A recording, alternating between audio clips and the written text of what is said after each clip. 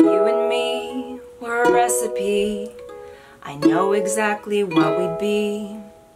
So let me explain briefly how to prepare a batch of delicious us stew.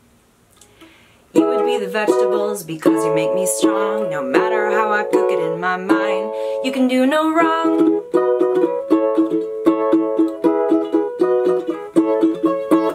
I would be the extra things cause I bring out the best in you with your nutrition. I can make us taste good.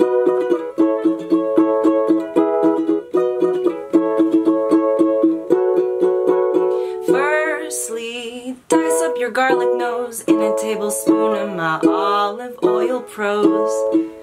Saute in a frying pan and add in two cups of your spaghetti squash hands.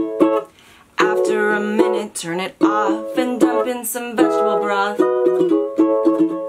Extracted straight from your juicy, juicy brain.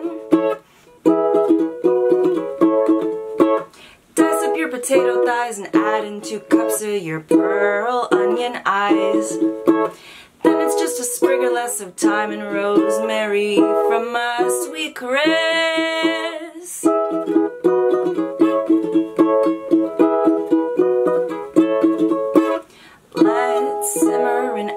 Or two, then pour in the peas and corn from your hairdo. Then finally through the steamy mist, a little salt and pepper of my kiss.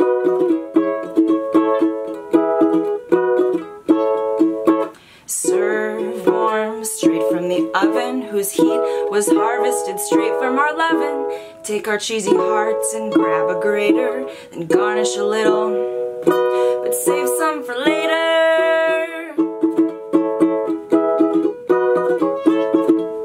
And that is the best way I'd suggest